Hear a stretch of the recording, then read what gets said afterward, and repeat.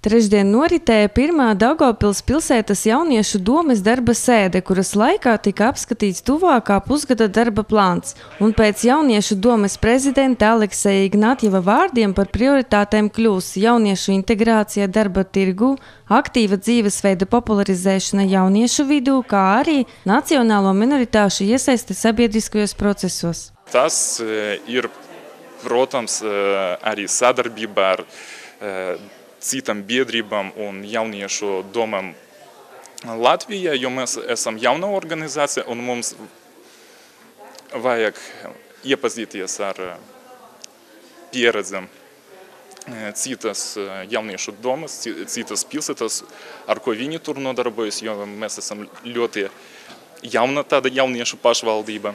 Jauniešu domes sēdes laikā tika noklausīti visu valdes locekļu ziņojumi, kuros tie izklāstīja savus redzējumus pilsētas jaunatnes politikas īstenošanā.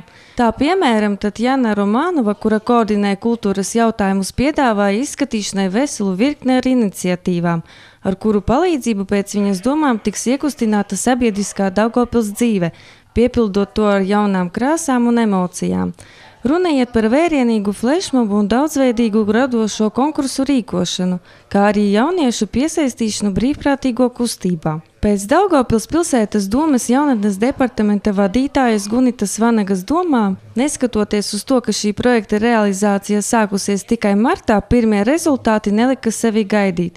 Jaunieši aktīvi darbojas kopš jauniešu domas izveides. Sākumā bija tādas bažas, ka varbūt vajadzēs vairāk mācīt, ko kā darīt, bet tomēr var nojaust, ka pats prezidents, viceprezidents, arī paši koordinātori, viņiem nāk iniciatīvas, viņi katru dienu nāk vai zvana uz departamentu, mums ir tādas vai tā varētu pareizi. Nu, mēs, mēs atbalstām, jā, un droši dodieties uz priekšu. Pats galvenais, eh, no kā var attīstīties, piemēram, jaunieši pilsētā, ja paši jaunieši kaut ko sāks darīt. Jā, mums ir daudzas biedrības, bet eh, ne visas biedrības, viņas, nu, katra par sevi ir. Un tad, kā te ir jaunieši, bet jaunieši te ir no skolām, arī no biedrību pārstāvjiem. Un, kad viņi satiekas vienu vietu, viņi var bīdīties. Jo tomēr jauniešu doma ir tāds vairāk redzamāks. Jo, piemēram, pašas biedrības, nu, viņas pašas par sevi nu, kaut kur, kaut kādā teiksim, mazā sabiedrībā par viņiem dzird. Bet jauniešu doma tas ir nu, kaut kas lielāka organizācija, kura var vērsties un patiešo iet arī sniegt idejas jaunas, jaunas departamentam un Daugos pilsētas domas vadībai. Aleksejs Ignatjevs ievēroja, ka darba gaitā izvairīties no asām diskusijām visdrīzāk nebūs iespējams, jo tikai strīdos patiesība dzimst.